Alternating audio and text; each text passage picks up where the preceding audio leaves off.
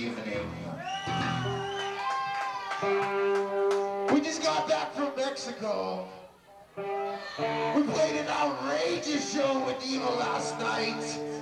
And let me tell you, it was fucking fantastic.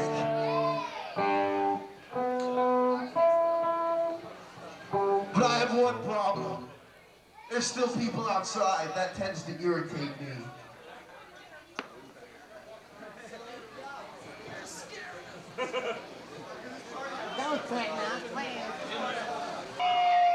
We are, in case you don't know, April Sinphony.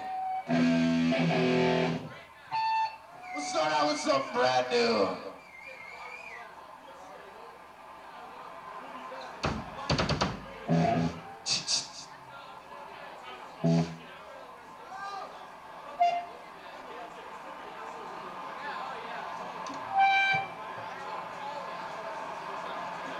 Crotch cattle.